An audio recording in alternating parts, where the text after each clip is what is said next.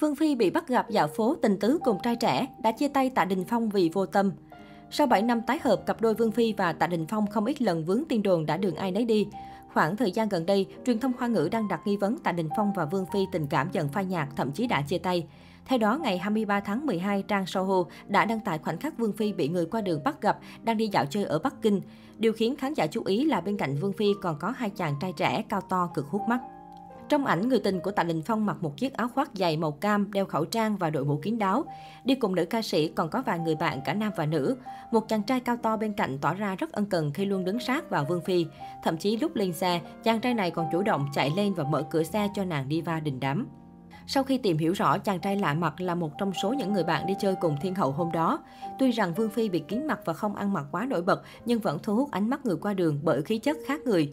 Đây là lần gần nhất mà nữ diva họ Vương xuất hiện sau khi liên tục vướng tin đồn chia tay Tạ Đình Phong.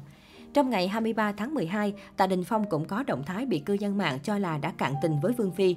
Cụ thể, tại khuôn khổ liên hoan phim Macau lần thứ 13 đã diễn ra nhằm tôn vinh những tác phẩm điện ảnh và truyền hình xuất sắc nhất năm qua. Chiếm trọn spotlight tại sự kiện là sự xuất hiện cực ngầu của nam ca sĩ diễn viên Tạ Đình Phong. Tại đây, anh đã thay mặt cho đạo diễn Trần Mộc Thắng nhận giải đạo diễn xuất sắc nhất cho bộ phim Nộ Hỏa. Thế nhưng bài phát biểu cảm ơn của anh chàng lại làm lộ chuyện tình cảm với Vương Phi. Cụ thể, Tạ Đình Phong phát biểu, xin cảm ơn Liên hoan phim, cũng cảm ơn ngài Dương Thụ Thành vì đã ủng hộ tôi. Tôi cũng muốn gửi lời cảm ơn đến bạn diễn Trần Tử Đan và bản thân mình nữa. Dù không có mặt ở đây hôm nay, nhưng tôi chắc chắn lão sư Trần Mộc Thắng vẫn luôn theo dõi chúng tôi. Cảm ơn thầy. Có thể thấy anh đã gửi lời cảm ơn chân thành đến tất cả mọi người, kể cả bản thân, nhưng lại không nhắc gì đến Vương Phi. Ngay sau đó, hành động của ảnh đế liên hoan phim Macau năm nay, nam diễn viên Trịnh Khải càng cho thấy Tạ Đình Phong vô tâm đến mức nào. Nhận giải nam diễn viên điện ảnh xuất sắc nhất nhờ bộ phim siêu Việt, Trịnh Khải đã đặc biệt gửi lời cảm ơn đến vợ yêu Miu Miu vì đã luôn sát cánh ủng hộ anh thực hiện vai diễn khó khăn này. Trở lại với trường hợp của Tạ Đình Phong, lúc nhận phỏng vấn của báo giới, nam diễn viên vẫn coi Vương Phi như không tồn tại.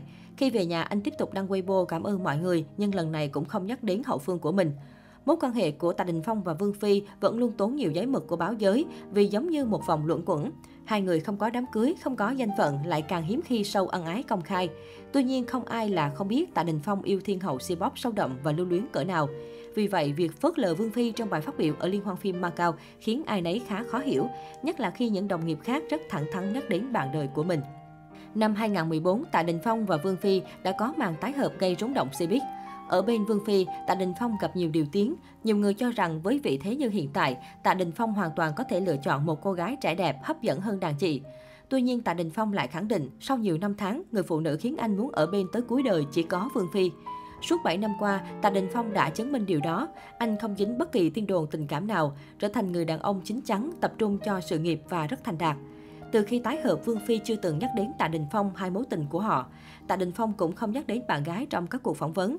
Đây chính là điểm tương đồng trong tính cách của hai người. Họ là người của công chúng, nhưng thích cuộc sống tự do, tự tại và không thích trở thành tâm điểm của truyền thông.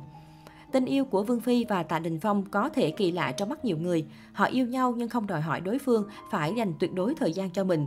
Một tình yêu không có sự ràng buộc, nó xuất phát từ hai trái tim thật sự cần nhau. Có lẽ đó là điều mà Vương Phi, Tạ Đình Phong luôn khát khao có được và may mắn họ đã tìm thấy khi ở bên nhau.